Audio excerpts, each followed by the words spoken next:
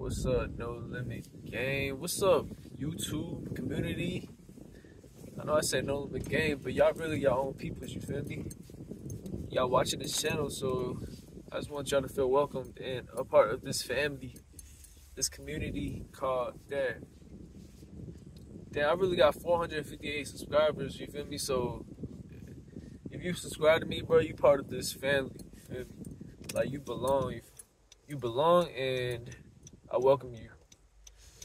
And this is a safe space, so y'all want to comment some be it, like comment whatever y'all want. You, you know, if you agree with all, what I'm saying, you can always comment, and it's always a safe space, no judgment zone.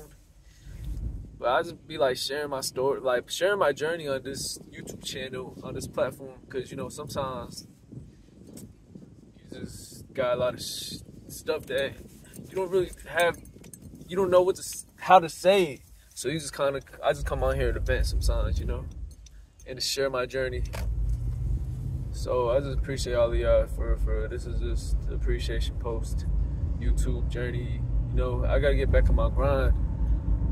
I feel like if I just become one percent better, make my YouTube one percent better, even if it's 0.01 percent better each and every time I post, like I could take this to no limits, bro. Like build a brand, self-discipline, become more self-disciplined, become more focused, and just focus on creating and making better content for everybody and just try to become a better person.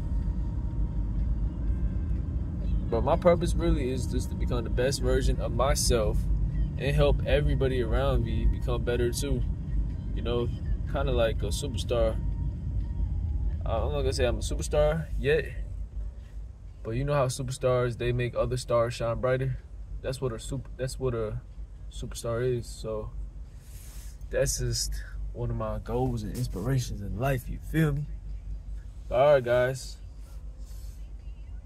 I'm gonna talk to y'all later. Y'all have a blessed day. Love y'all. Peace.